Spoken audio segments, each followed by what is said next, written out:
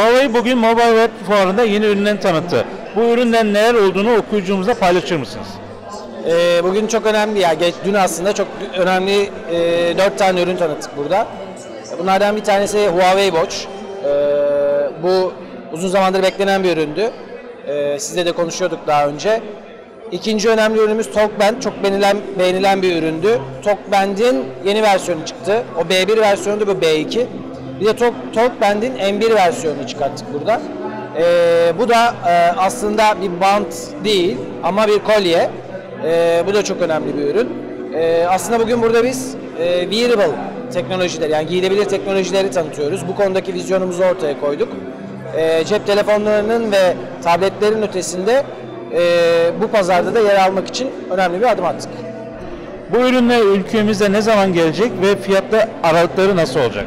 Ee, ürünlerin ülkemize e, gelme sırası B2 ile başlayacak. E, Nisan ayı diyebiliriz. M1 Mayıs. E, Huawei Watch ile ilgili beklentiler de e, yaz, yaz ortası gibi görünüyor. Çünkü dünyadaki lansmanı da e, Haziran sonu gibi yapılacak. Birçok üretici üst sınıf telefonlarla kendilerini söz ettiriyor. Huawei ne zaman üst seviye daha doğrusu HTC M9, Samsung S6, Xperia Z3 ürünlere karşı bir hamle yapacak. Ya şimdi aslında biz bu hamleyi biraz yaptık. Mate 7 ile beraber yaptık. Mate 7 üst seviye, 6 inç ekranlı, parmak izi okumalı. Ee, gerçekten güçlü bir işlemcisi olan ee, çok başarılı bir ürün. Pazarda da çok başarılı şu anda. Dünya genelinde de öyle. Ee, pazara sunulduktan yaklaşık 6 ay sonra ee, neredeyse 2.3 milyonluk bir satış yakaladı. Çok büyük adetler bunlar. Ee, ve başarılı bir şekilde Mate 7 devam ediyor. Ama önümüzdeki dönemde tabii ki başka sürprizlerimiz de var.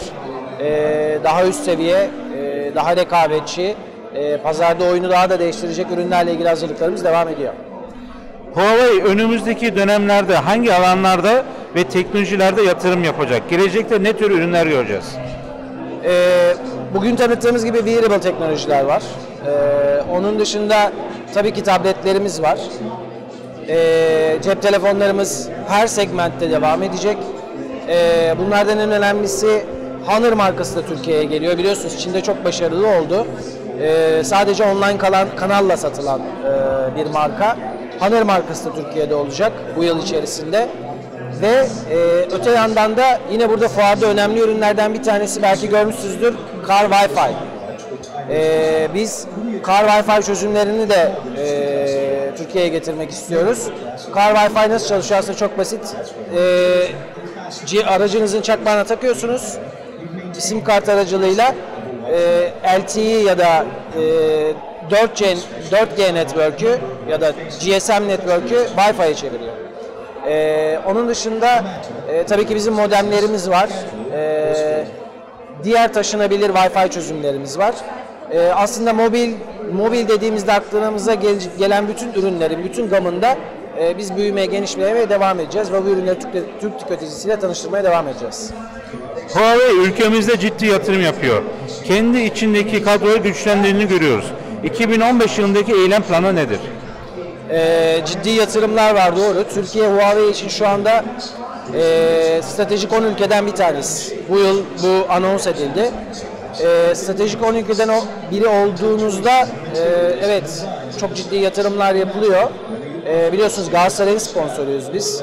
E, ama bu yetmez. Bunu hep konuşuyoruz aramızda da.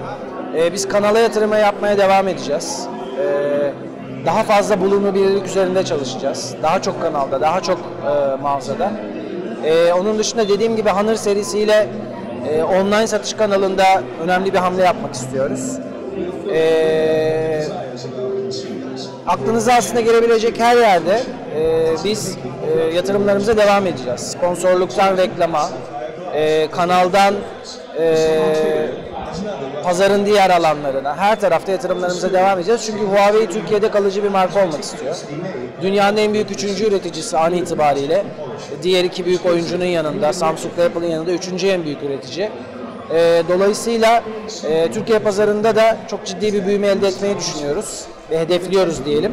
E, çünkü Avrupa pazarında ve Amerika ve Afrika pazarında inanılmaz büyüme rakamları var şu an itibariyle. Huawei çoktan e, pazarların temel ana oyuncuları olmuş durumda.